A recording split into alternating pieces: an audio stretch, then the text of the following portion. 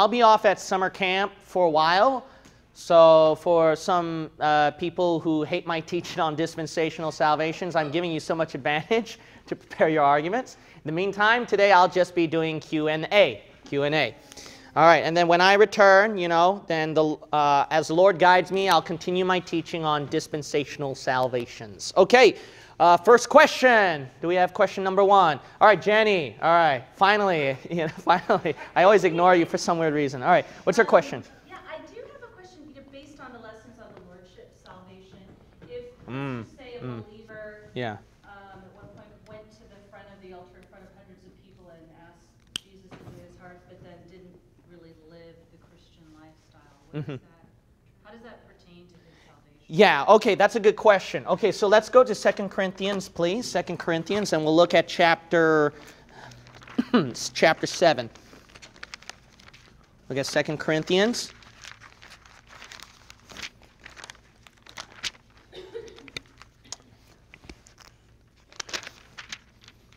Chapter 7.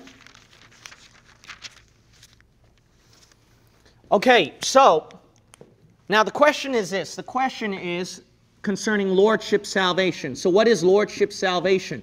So, a lot of you have heard me talk about this quite numerous times. So, lordship salvation basically is that if you don't surrender all to Jesus Christ, if He's not the Lord of your life, then you are not saved.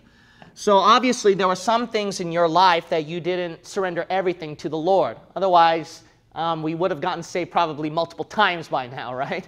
Especially when during preaching you hear something that you never thought of before was wrong, now you know is wrong, right?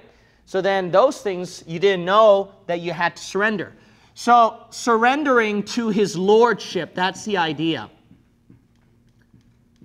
Now, this is a noble thing, of course. Don't get me wrong. Obviously, you got to realize this: the wrong doctrines out there. There's going to have they're going to have an element of truth, an element of something nice to it.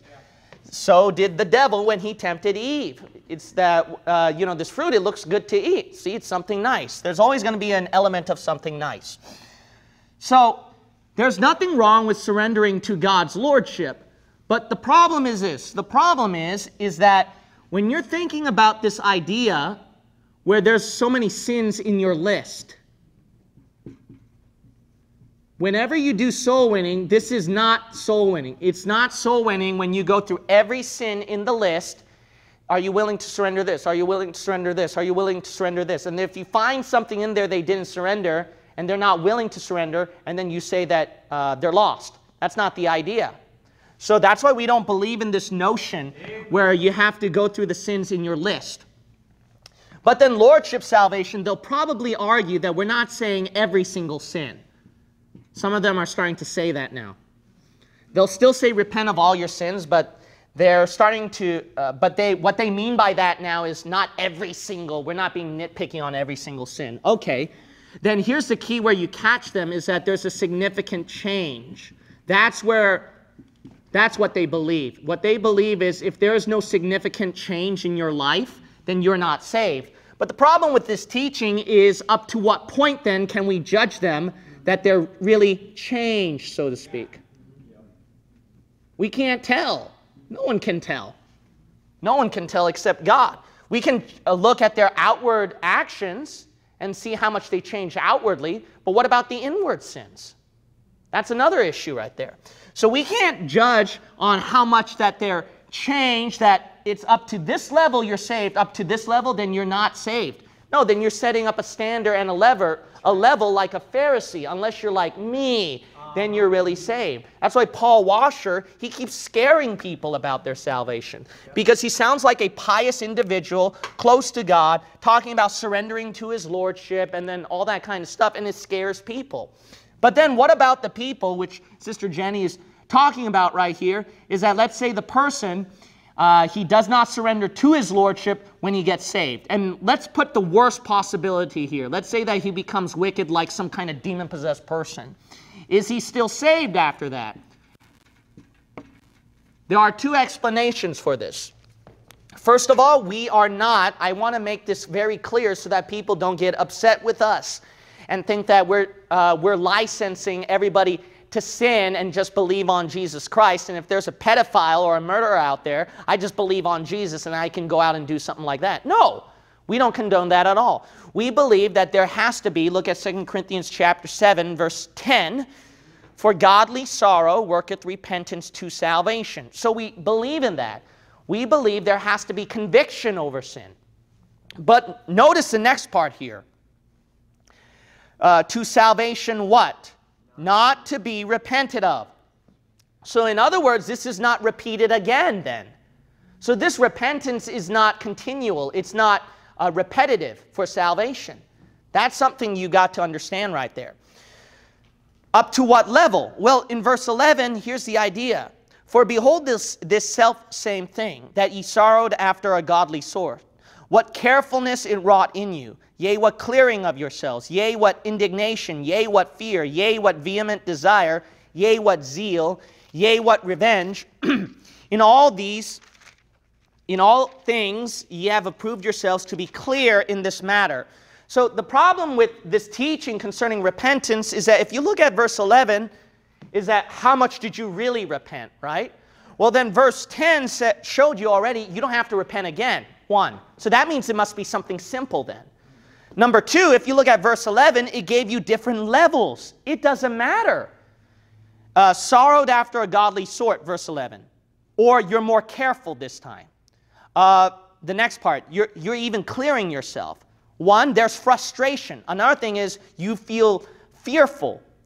Uh, another thing is desire or zeal or revenge. See, when people have a conviction over sin, it's all in different levels right here. It's all in different levels. The point is just conviction. You might have a desire to do what is right. You may have a desire to not sin. I mean, that's a pretty easy question that I ask people. Obviously, you don't want to sin, right? And they're like, no, I don't want to sin. There are other people who might say that they do. So then right there, then you can catch them right there if they had that uh, first step concerning about their sinful condition. But the idea is this, is that it also points out in verse 9 where it talks about ye were made sorry, but that ye sorrow to repentance. So the idea is this, it can go to the level of being sorry. What if a person surrendered to his lordship? That's fine too. It doesn't matter. My dad, when he got saved, you know what he did after he got saved? He wasn't, he wasn't like going up and down with his alcohol. He threw his alcohol down the drain. He, he went all the way. I mean, if you want lordship salvation, there, what, there it was right there, like totally surrender. We're going to make this a Christian home. Because my dad's mentality is you're in or out. That's his character. And then if you're not in or I mean, that's why you heard him preaching. Simple, isn't it? It's simple, right? Just be in or out, you know, like that. I don't get it, why it's so tough. Yeah. So that's my dad, though. So it doesn't matter. See, whether a person surrenders everything or not, it doesn't matter about that. The Lord considers, the point is, the point is, it doesn't matter what level. Did you have conviction over your sin? And the idea is this repentance to what? Salvation. Here's the problem that I have with these Lordship salvation people. Because they harp so much on sin, which is right, what do they do? It doesn't lead the people to salvation. What they want to do is let the Holy Spirit keep convicting them, let them go home, like Ray Comfort does. After he goes through the Ten Commandments and then he tells them to read the Bible, you know, go home and do this kind of stuff. Then what is he teaching them right there? He's not teaching them right there that now you got to put your trust in Christ right then and there. See, repentance should lead you to belief. Repentance should lead you to believe on Christ for salvation. Look, when you have when you have conviction over your sin, what are you going to do with all of it? That's where you catch lordship salvation. It's like, what are you going to do with all this sin now?